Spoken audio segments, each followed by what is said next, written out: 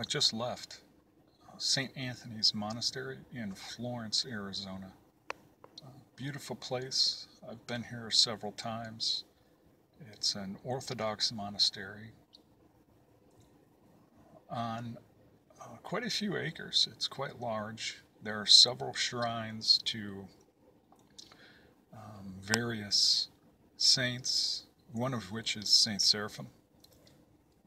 Um, I have taken some pictures of that and a little bit of video, and we'll splice that in here.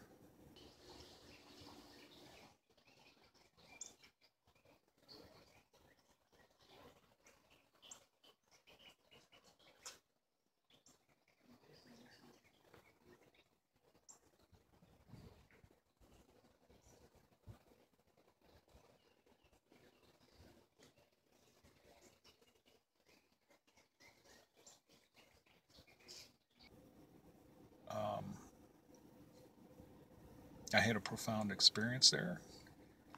I seem to have had a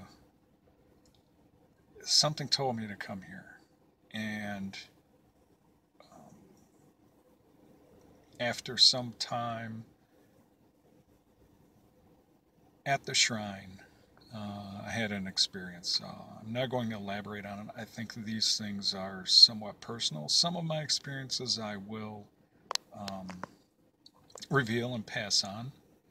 Um, but the more recent ones that occur, I think most of us should keep that to ourselves as they develop because it, it, as they develop because it may not be the end of it it may have been you may have had a longing and a pulling to come to, for example, the, a monastery uh, like I had. And you do your prayers, your meditations, and you have an experience. You have a, a an awakening, uh, a, an enlightenment.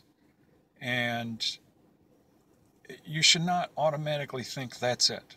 Um, now I'm complete. There may be more. That may be a, a bigger step on the path. Maybe you've taken, um, instead of walking straight down the path you've been walking, now there's a little diversion.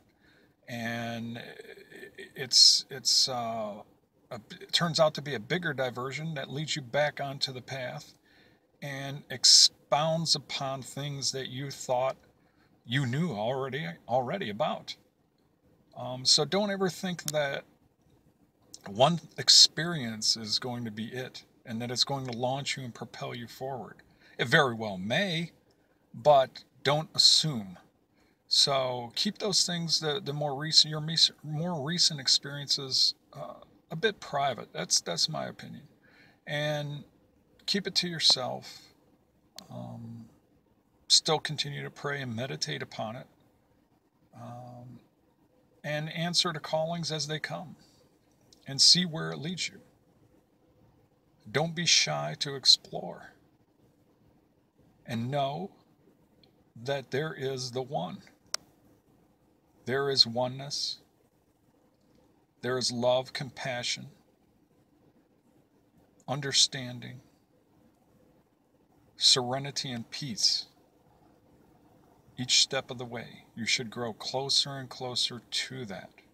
And as you do, you'll understand more and more.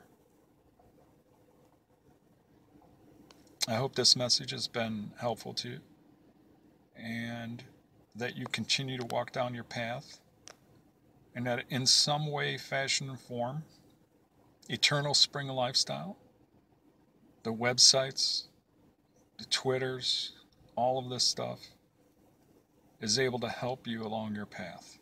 And if there's anything I can ever do for you, please, please, please feel free to contact me. Thank you, and may God have mercy on your path.